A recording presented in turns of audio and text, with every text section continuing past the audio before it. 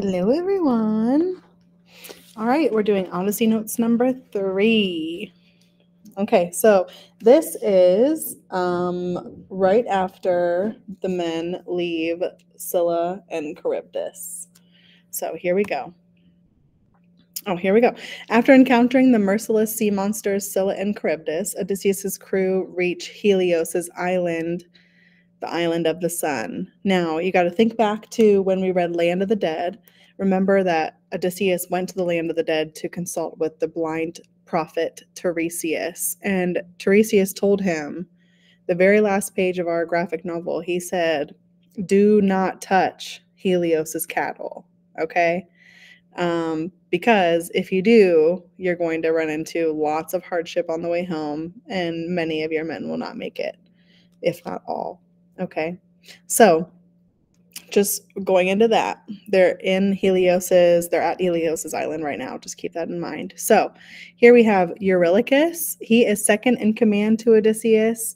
He insisted that the crew rest. We are, we're going way too hard trying to get home, so we just need a rest. And Odysseus was like, All right, but I need you guys to swear an oath that you will not eat or harm any of the cattle. Okay. But they were trapped on the island for a month by this wind that would not let them sail away. Okay. So eventually their stores ran out while they were there and the man the men began to starve. So one day Odysseus fell asleep and this is when Eurylochus convinces the men to eat the cattle of the sun god.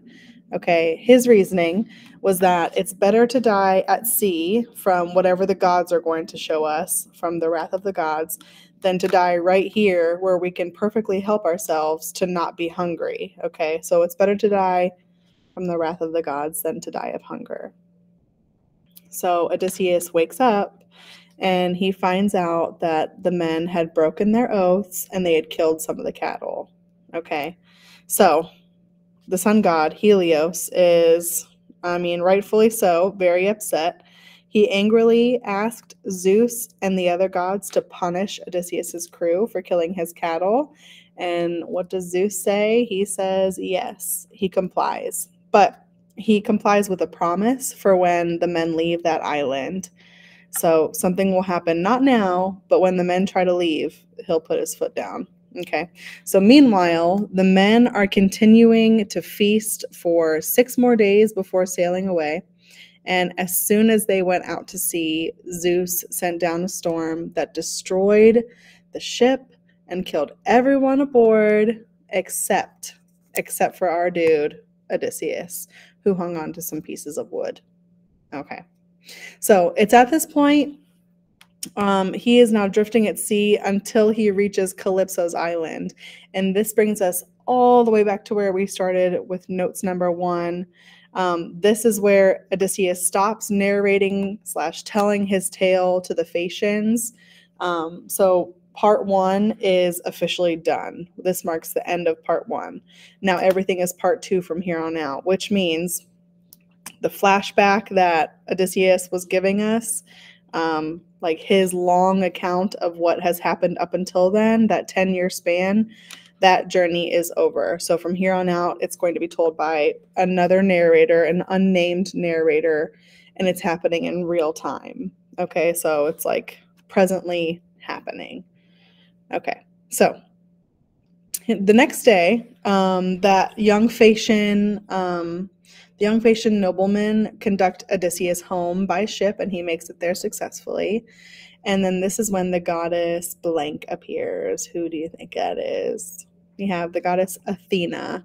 Okay, so she appears and informs him of the situation at home. And reflecting on our notes number one again, we know that suitors have taken residence in Odysseus's home eh, because they think Odysseus has died after these 20 years and they want to marry Odysseus's um, wife, Penelope, and they're also planning to kill Odysseus's son, Telemachus. Okay.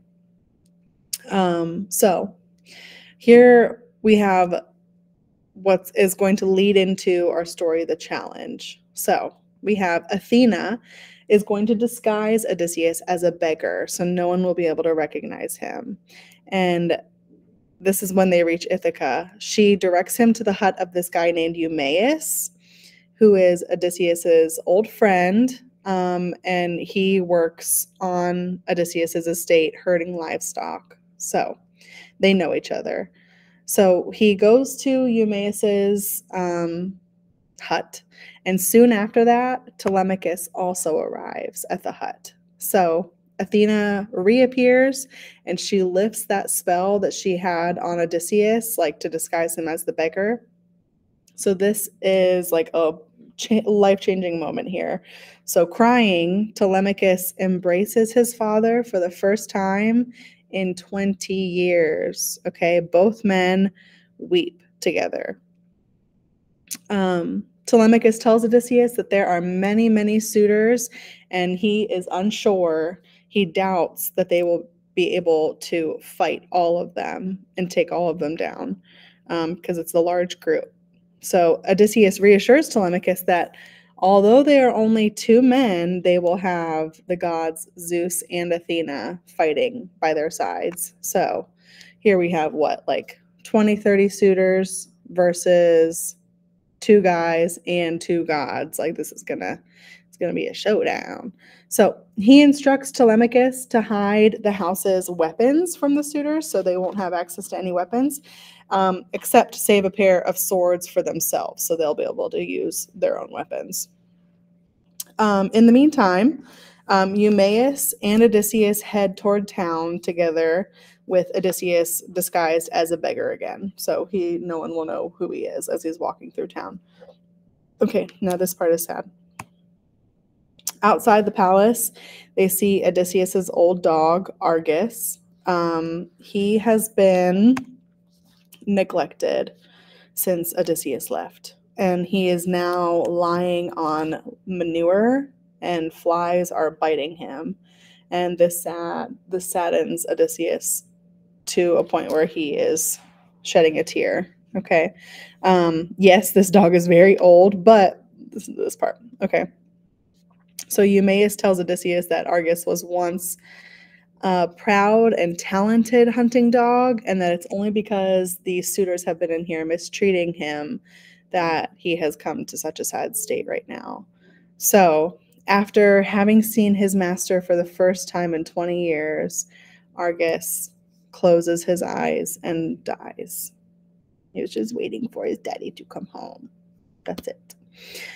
Okay, so that's Argus. Now, um, still in town, um, Penelope shows up and she spots the beggar. So after being spotted by Penelope, she calls for Eumaeus and asks Eumaeus to bring the beggar to her.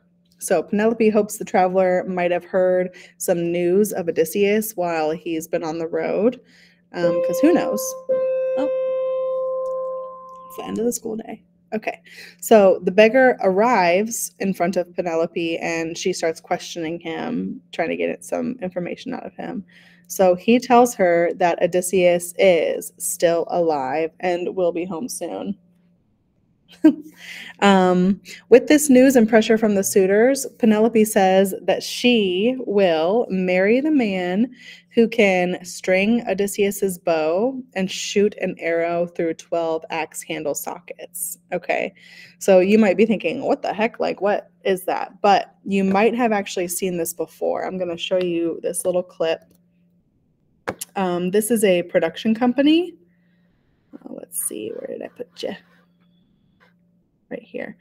This is a production company called um, uh, T TSG, I think. Um, yeah, let's let's just watch it. You have you might have seen it before, like at the beginning of a movie. Here we go.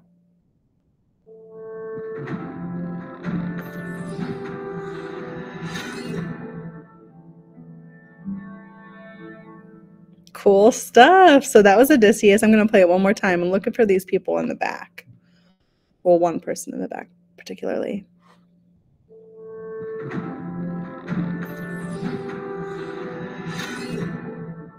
There you go, Odysseus. And back there was Penelope. There he goes shooting that handle or shooting that bow through 12 axe handle sockets. Okay, so just to give you a little visual of what that might look like. Okay, so she says that she's going to marry the man who can string Odysseus's old bow and shoot that thing, shoot the bow, shoot the arrow through 12 axe handle sockets. Okay, so all of the suitors attempt the challenge, and some could not even string the bow, while the rest of them could could not shoot the arrow through the 12 sockets because it's a challenging task. So, still in disguise, Odysseus now asks for a turn and he gets it. Okay. So, um, now it's about to be our next story is the challenge. Um, so remember it's not Odysseus narrating anymore. It is um, a random narrator, an unnamed narrator who's just telling us what's happening. And every once in a while, we'll get we'll get some um, dialogue from Odysseus himself, some from Penelope as well, some from Telemachus. Okay. All right, that's that. Odyssey Notes number three.